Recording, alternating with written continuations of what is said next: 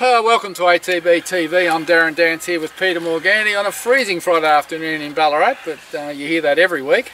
Just talking to Jason Warren down at the Geelong Racecourse, Pete, and he said the sun's shining.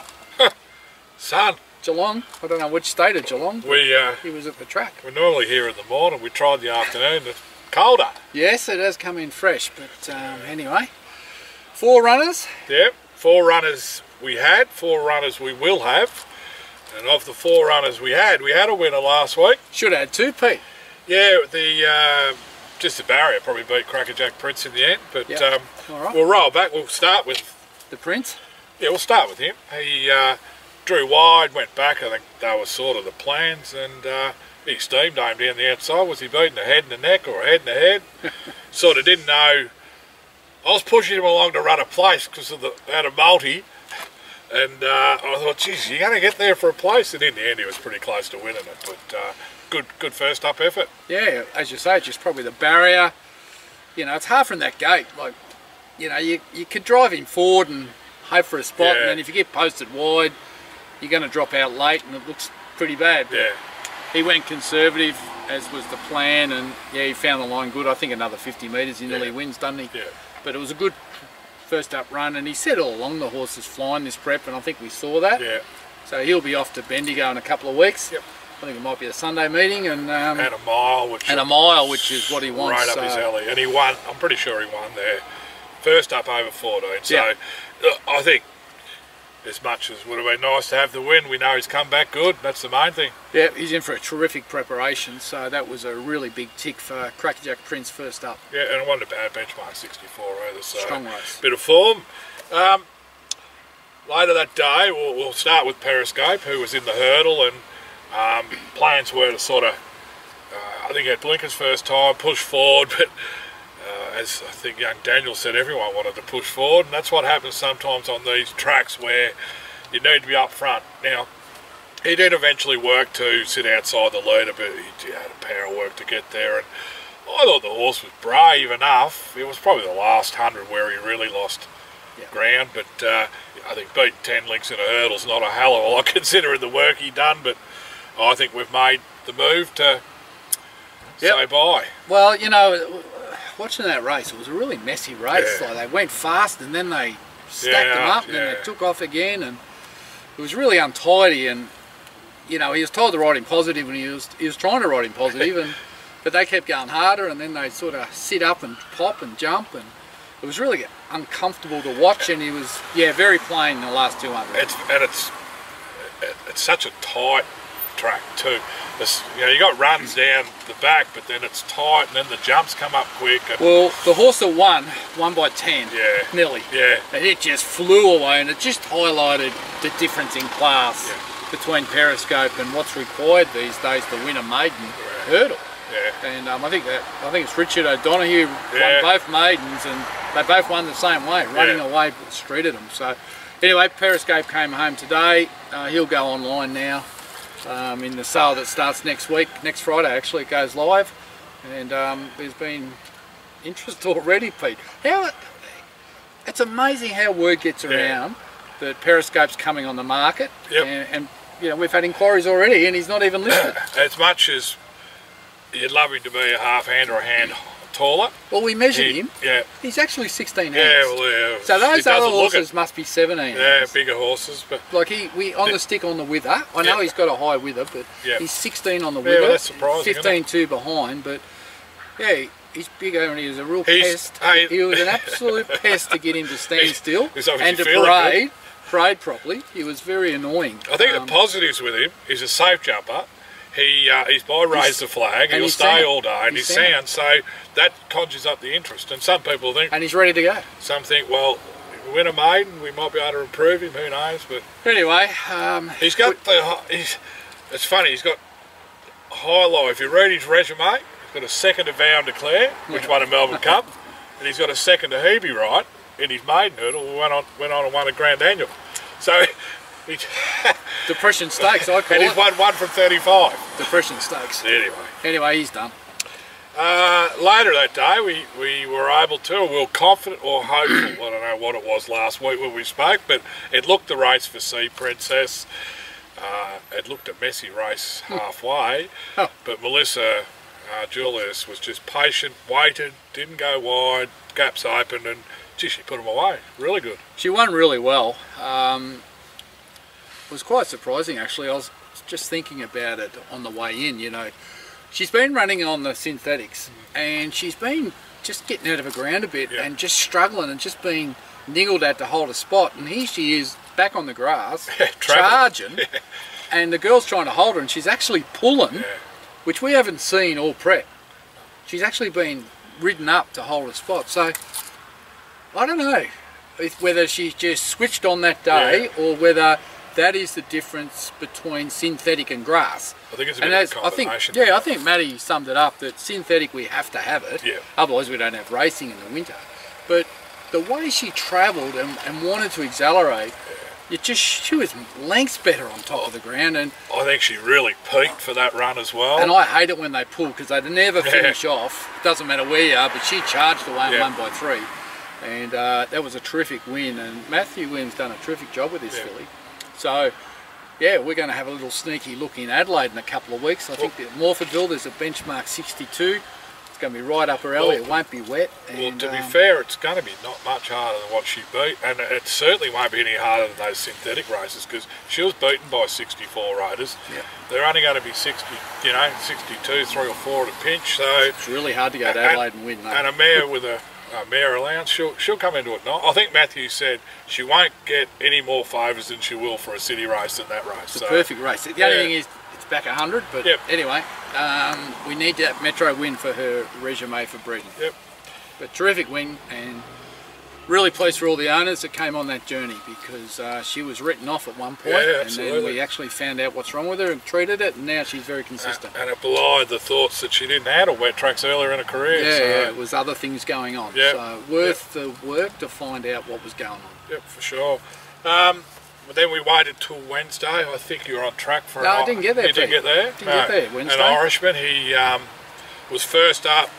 It was a fairly handy little race, as it turns out. And the Very horse, good race. the horse that won it, we actually uh, it beat us at Moonee Valley one day with Supreme Thunder, Seb Song. So really good class race. He's only beaten four and a half. He he raced well, I thought, but um, I think Jamie Mott summed it up quicker we get out to a mile with him so he can sort of uh, dictate or control a race like we have seen before It's probably his go. I know we've, we've tried to restrain him and ride him um, quietly to get the best out of him, but he's just a free rolling horse that just needs, you know, to uh, set up his own tempos and he, c- we know he can kick off a good tempo. Yep. Um, but I, I thought he was fair. Yeah, he just couldn't lead. So, No. you know, he couldn't lead. Uh, so once he couldn't lead, he was in behind him, and, and then he sort of travelled up Yeah. nice, but probably just tired late. did give a bit. I thought there when he sort of peeled off the heels, I thought, oh, he might go bang here, but he, he was sort of already at his top. Yeah, he was done. So Yeah. he'll go to a mile next start, and he'll control the race, and if he's good enough, he'll be winning. Yep. So we had a couple of nice results and a retirement, and you know, I think an Irishman, a Crackerjack Prince, are not going to be far away. No, all those three are in good form. Yep. Four runners coming up. Fleming Ton with All this weekend. yep, all this well, Saturday, Sunday. Saturday, Sunday, yeah. So we go to finals day at Flemington for a start, where we have two two horses that both race really well at Flemington. We'll, we'll start with Serious Suspect in the it's called the Santa Ana Lane Sprint Final down the straight, twelve hundred. No, no centre and lanes in this race, Pete. No, no, far from it actually. I think we have got a Group One winner in it, Sava Extel, or Yeah. I can never say Sava that name. XL, Yeah, something like that. It's He's got 60 it's got kilo. sixty kilos in the Does he lead? He leads, doesn't he? uh, beat the roundabout, yeah. Um, and because he's in the race, everything else got 54 kilos, which Six kilo suits down. us. Suits us a little bit because I think some of those ones a little bit down the ratings than us, and uh, we'll meet them on level terms, which we probably haven't had that in our favour. The four or five runs we've had, we've had probably been badly weighted, but I think horses in serious form. I think um, we've struggled to win with big weights this Yeah. horse. I think when he has won, he's been down in the weights a bit. Well, the Standish was with this weight. Yeah, so he loves Flemington. He's in good form. He's honest, consistent. Yeah, Um, already two scratchings too. A couple of yeah, there's only nine runners. thing from Mortimer looked looked like might have started favourite. Ashford Street's out. Yep. So look, at the end of the day, he's going there. He'll be one of four horses around four or five dollars. I think he'll weigh in unless something goes wrong. But Yeah. um, look, he's in good form. Saab just rang me this morning to say his chiropractor's been over him. He's Yeah. in great order. He's happy. Um, track's going to be the right sort of. I think it's the first time this prep we look at the race and go, there's more ticks than negatives, Yeah. And it's an even lot. Yep, it's an even lot. Yeah. And gee, he deserves to win Oh. on this prep, doesn't he? Well, I was talking on the radio this morning. They're going, oh, you know, hey, geez, this is a good race, and they're going, geez, he hasn't won for 18 months, and it's, you know, probably three quarters of those races. He was really up against it, and then we had a little bit of bad luck with injury, and you know, had a I still, I bad still, rides. I still maintain he hasn't won for 18 months because he won that race Yeah, 18 I- months ago, and he's had to carry all that extra weight all the time. Yeah. He's been rated to his best. he went up five or six points real quick, and So look, he'd be thereabouts. I, you know, I know at the you'd love to have 10 of these horses We'll be all they can just standing go, go Saturday and just run to their best. And That's it. Who rides? Ethan Brown. Uh, and I like. The only time he's ridden him down the straight was well, this going back Weary's days. He's got beautiful hands, Ethan, and he actually knows to let this horse roll at Yeah. the right time. He, He won't hold him up, and, and I think at Swan Hill we've seen that. Yeah. So I reckon it's a really well. He said he didn't want to get off him, but it's a real good engagement. So good and luck. he's in good form too. good luck to everyone. We'll see you down there. Literary Magnet is in the final race. The last race of the day. Oh, Quaddy, Darren might be field, serious suspect field, literary magnet. Oh, here we Now, go. if ever a Lose our- horse- lose our money again. Ever a horse deserves Uh. a little bit of luck and a win. This is this filly or mare. Drawn a good gate. Dean Holland D Holland. just had his fourth child. Jeez. Got four kids under four, Darren. He's obviously not riding enough. But, well, to the contrary, I'd say. Just not not working hard enough. Four four kids under four. He, what did he say after he won a race yesterday? I've got to work just to buy nappies. So what, no, do, what do we? Uh, Well, what gate- price? Do you know? seven dollars. Seven bucks. Oh well, if she misses the start, it's all over. Gate two, aren't we? Gate two, yeah. Misses the start, it's all over. Well, she sh- should be in the first four or five, one off the fence. You would think. But if she jumps, got to have it of missing the She does. Can they ask to go in last? How does that work? I don't know. Can you get a request like that? Oh, you can, I think. But uh, anyway, they're well aware of us. I, I think um, Dean will be revving her up in the Yeah. gates, won't he? I hope so. I hope he's not sleep deprived. Anyway, uh, she gets a chance to win a race. She deserves it. She's good enough. Um, she just- Sixteen hundred, sir. She, you'll know after ten yards Yeah, silver bowl final. if she's going to be in it. worth a bit of money, huh? Taking on the men, Yeah, I don't think that matters. right? Confident. I reckon she'll go real well, All right. real well. That thing that won last week that it had no luck for three or four runs is favourite. Beatrix Cardinal in form. Gem. Yeah, yeah. No, no. I'm on. We'll go north. Bit warmer up Sunshine Coast. Might be wet, but is it, is it wet? yeah, it's been wet. They're Yeah. supposed to get a year's rain in four days. Jeez. So we've The got. question is, will they race? Is it that bad? Well, the forecast looks horrendous. Well, we've got Southern France, top weight in the Caloundra Cup. 2,400 metre uh, listed race, I think it is. Yep. Last time he was second up, Darren, he only got beaten four lengths behind um, the good horse that won the Cox Plate. He's no longer with us. Oh yes. Um, Yes. Mars horse. Don't mention the war. Yeah.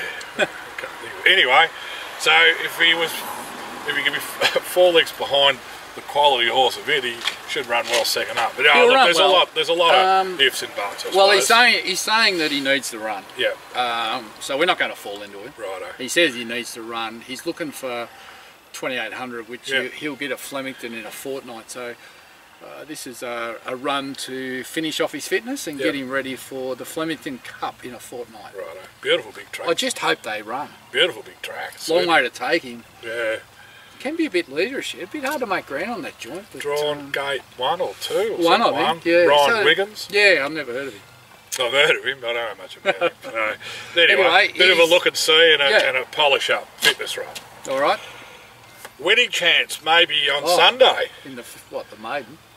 No, highway, are we? I don't know. It's 58 highway, Shied and Dandy. God he help got us. his maid. God help us if their best chances in a highway. Well- I hate highways. It's got to carry 70, the poor little bugger. Oh, he's not that little. Oh, he's not that big either. Shine and Dandy. Shine and Dandy, winning form. a highway. What's he doing? There's no other races. Really? Did he school him? Uh, I think he might have took him. It was last Tuesday. Did he get his certificate? him over. Oh, I got no idea. Haven't heard from him. But it'll be heavy. He's in France, isn't he? Uh, Andrew, no, he's on the radio this morning. Oh, well, unless he was calling in from France. No, he's on RSN this morning. He's got two good chances down. Oh, well. Oh, he's in against us. well, Ocean Beyond, and he's got that thing that I tipped that ran fourth in the two-year-old. Can't So believe it's going to start raining now. this is going to be a short episode. um, Sean and Danny in the highway. Who's riding it? Willie McCarthy rode Oh, the grand annual winner. He's a good rider. Yeah, so um, they're all the same. Half are jumpers, half are no good, and the other half is that three halves? Three halves. It's up? one half. The other half are flat Are the prices up? I haven't seen any. No, but they probably should be. Oh, he'll be nearly favourite. Oh, I'm going purple. Look at my hands. He'll nearly be favourite. Well, hang on. Where are we going? Where is it? Uh, Sunday. Sunday. Sunday. Periscope's half brother beat a few home in the first. Is it at Warrnambool or Geelong? No, Warrnambool. Oh, Warrnambool's up. What race, do you know? Uh, he's in the one after the jumps, so 23.50, race six. Race six. Seven bucks. Paddy Payne's got one in at 260. Well, Righto. why wouldn't it be? He's winning everything else. Unbelievable run. Hey? Um, Ever since you started going video on there, they just win it. I went once. Been too cold ever since. He's probably had 68 winners in the last six days. Yeah, I probably filled 50 of them we didn't know. I'll tell Um, you what, the trial form's standing up, isn't it? Irishman just wins a trial at Moorlake by 28 lengths gets beat. Yeah. Jesus, trial form. I don't know why they bother videoing it. It's a good way to send punters. so I can get, so I can get paid. Um, yeah, well, go I've, I've uh, yeah, Seven very selective now. Yeah, seven dollars. It'll each way chance. I don't know. You'll, it'll be that deep in mud. It will be. Are you Uh, shivering? I'm freezing. you got much more to talk about? Oh, I've got about half an hour to go. I think we haven't got. Um, That's it. that's it, and we won't have another runner during the week until maybe the weekend. Following weekend, Yeah. maybe. So we're a bit light on, but Detonator Jack went back into work today. Yep. I see Steinham's programs come out. She'll Yep. be first up in uh, August. Princess Princess of Camelot is working along nicely. Yep. I did see. And I see we've got a whole heap trialling at Cranbourne Yeah. on Monday, Pete. I did see that. Whole heap trialling down there. Cancelling trial tracks around Victoria. Horsham got a deluge apparently. We never. yeah. I was meant to be there this morning, and I got the call. They said there's no way we could trial on it or race on it. Unbelievable. Oh, we and we never got that right. Well, if it gets, it's not going to draw out. I'm telling you. Well, started Thursday. They didn't have to be doubtful. Warwick tomorrow. It's normally a good track, so it'd be interesting to see what rain they got up through that Wimmera area, which is strange. Apart Anyway. from that, I've got nothing because it's the middle of winter. It's July. End of financial year's over. Four weeks to the mares start foaling. Oh, We've got horses going online next week, and uh, it's just treading water now until the spring carnival starts. treading water. The only thing work. we're interested in is the football. And I got invited to go to Geelong next Thursday Oh, night. Thursday night. Yeah, Is they that- play in Melbourne at Kardinia Park. Geez, that'd be a good game. Yeah, but it's going to be like two Yeah. degrees and rain. Like this. And no undercover. Might have done a hamstring for Thursday night. Stay home. Anyway, let's leave it there because it is Yeah. too cold. So have a great weekend. Stay warm wherever you are. And uh, good luck to the connections on finals day at Flemington. Um, Yeah, no, they're all good chances. It's a great day's racing for this time of year, and it's um, you know, and it's not long till some of these the Sir John Monash, some of these stakes races kick off. So we won't be long, and we'll be seeing some of these good horses go around in Victoria again as we head into the spring. So yeah. Saab have his suit on tomorrow. uh, I don't know what's up. Home track. Home track, yeah, He'll maybe. be up and about. I think I saw him, he's got a beard, has he? Where is he? I think he might have a beard on. Well, we might probably- recognise him. Probably not a bad thing in this cold. But, Anyway, uh, he oh, better be walking the track. He'll be suited up, and I reckon he'll be sweat on the brow tomorrow. He'll be nervous. Good luck. All right. Good luck to everyone. May your runners run really well. Have a great weekend. I'm Darren Dance here with Peter Morgandy.